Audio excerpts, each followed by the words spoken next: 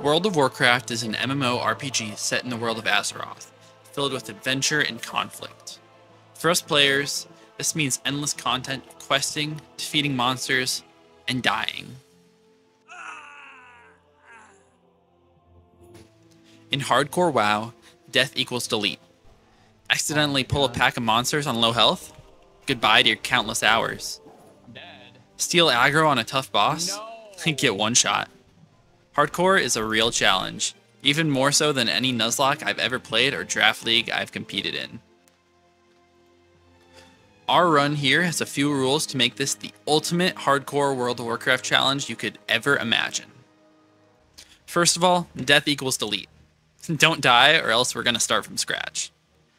Solo self found, no trading or help from anyone, most of the time. Dungeon locks. We can only run each dungeon once, so we have to make it count.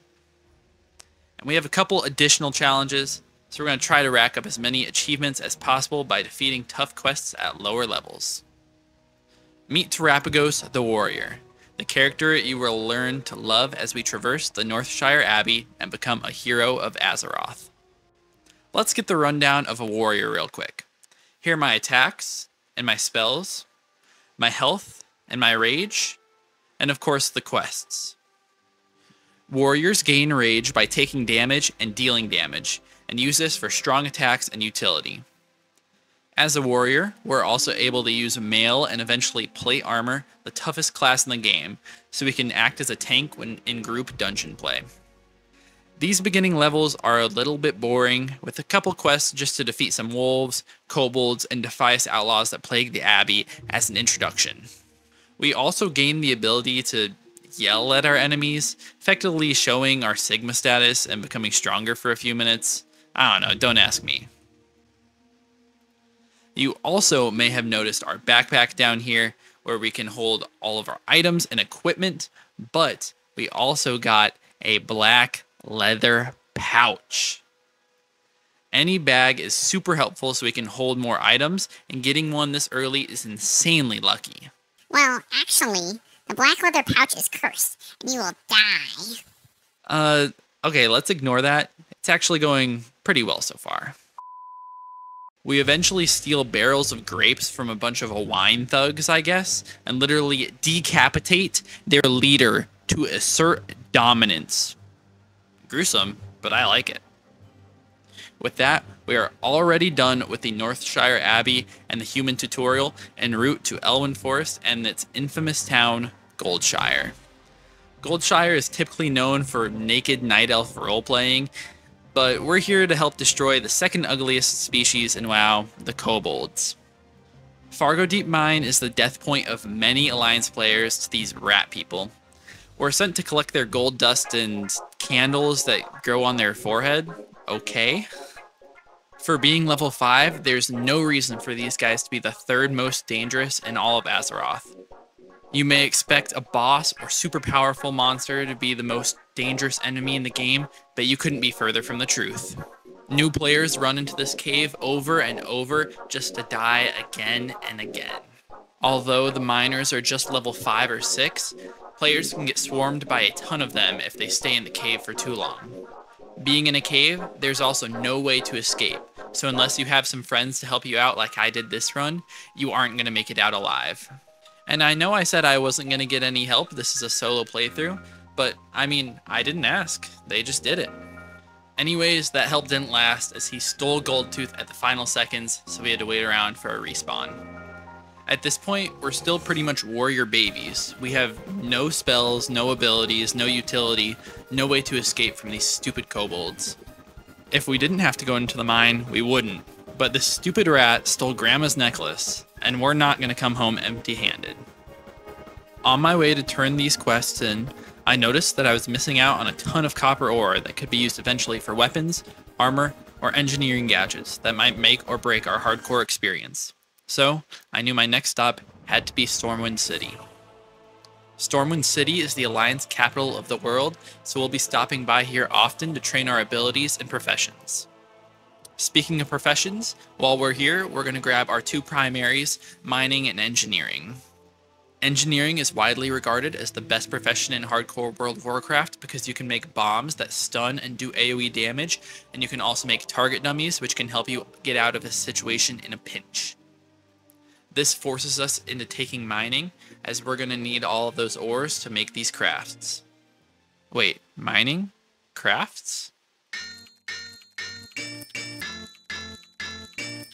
Yeti. Oh man.